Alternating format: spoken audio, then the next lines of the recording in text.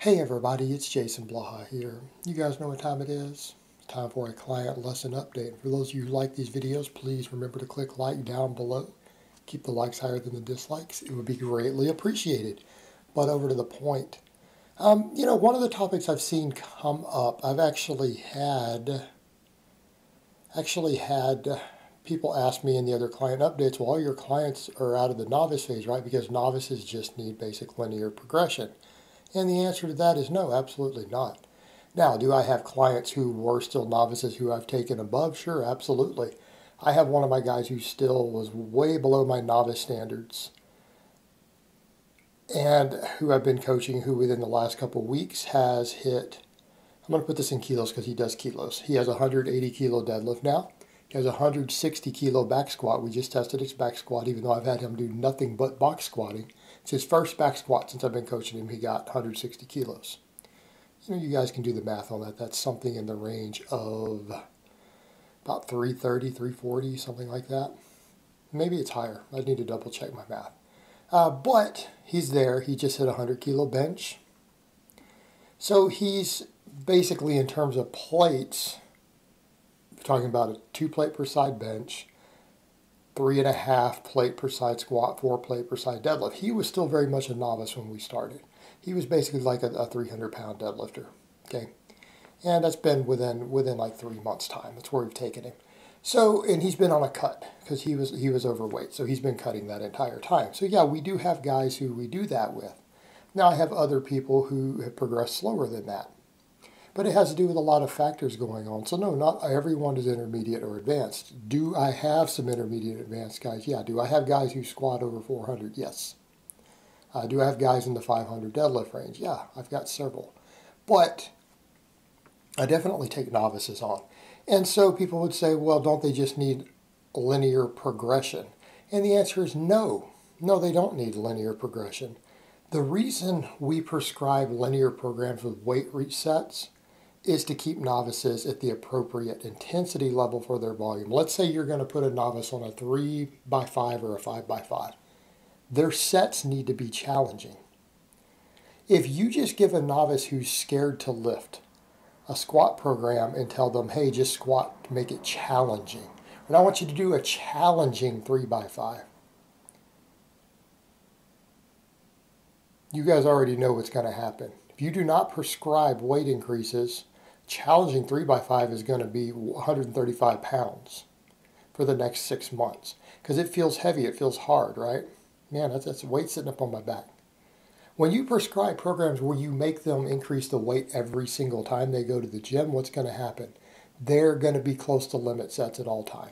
So let's let's say you do that. Let's say you tell them every time you squat, every time you deadlift, I want you to add five pounds they're very quickly going to reach a point where they have to do the weight reset. So what do we say when form breaks down?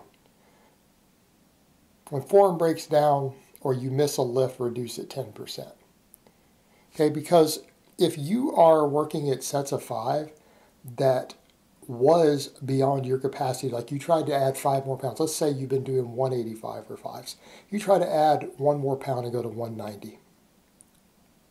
It's going to happen, and you fail it and you reduce it 10%, that was basically your four rep max. Okay, you reduce it 10%, you're probably going to be close around your, your seven rep max, something in that range for sets of five. You're not going to get quality reps, right? You're going to get quality reps, and if you're doing like five sets of that, or even three sets of that, you're getting enough quality reps to stimulate growth. You're getting reps that are challenging enough with the weight being used to cause muscle growth. Because it's not the weight increase that causes it per se, it's not the progressive overload, it's the quality volume that's creating fatigue. I'm just using the squat as an example. Right? I'm using the squat as an example. But then that's only for one session that they're down to getting that. They might only be getting three quality reps. People say, well, that's not as many. Well, that's true, but they add five pounds next time. That five pound jump probably takes them up to four quality reps another five pound jump. They're probably getting four quality reps per set. Then they do another one, they're getting five quality reps on every set at that point. So what happens?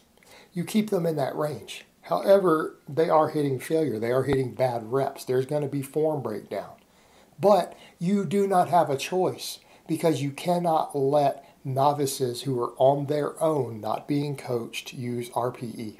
Okay? You can't let them decide for themselves how challenging a rep was just based on feel when they're getting all their reps all the time. They're going to way, way under train, especially on the big lifts, not on curls, not on their chest, but they will on squats and deadlifts.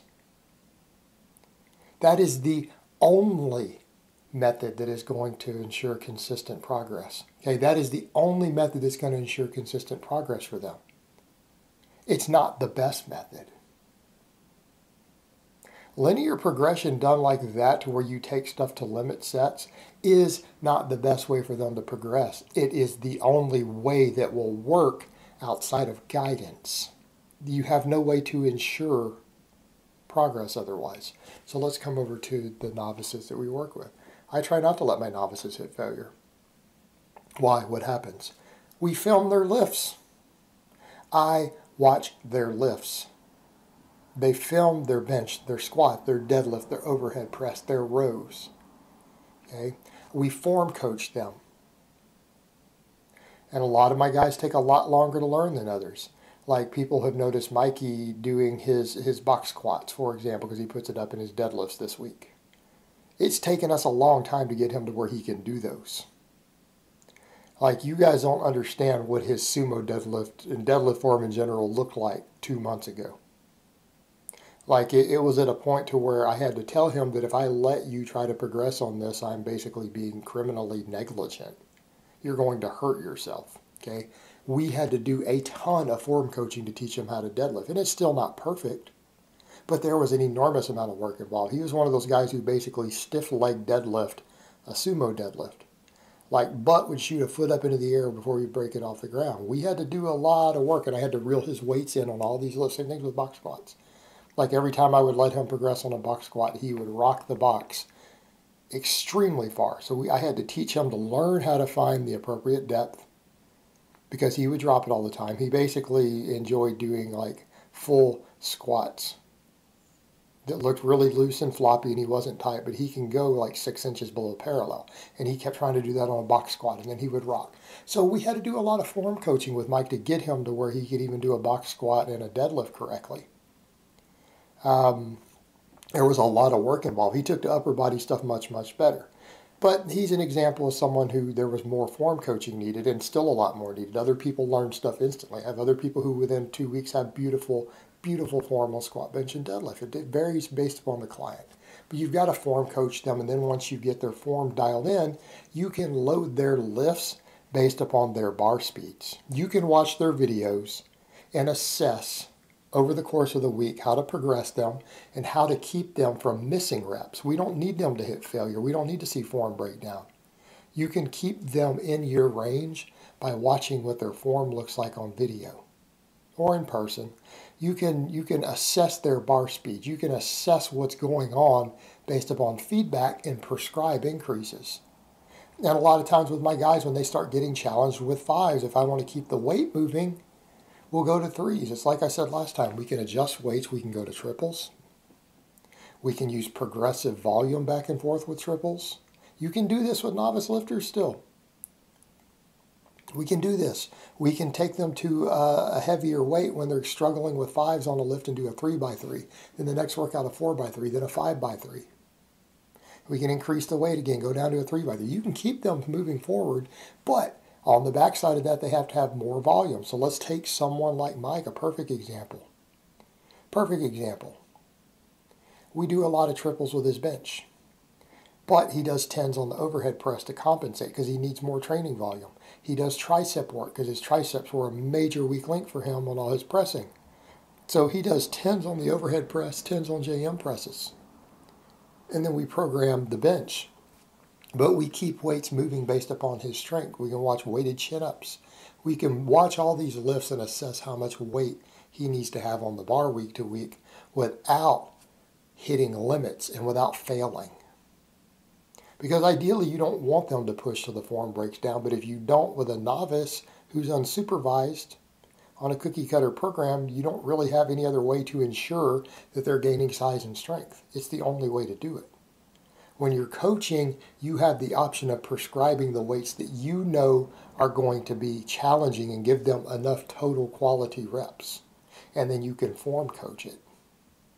And there's a big difference between coaching clients versus handing them a, a linear progression program. So, no, everyone doesn't follow a linear progression when you are coaching them one on one.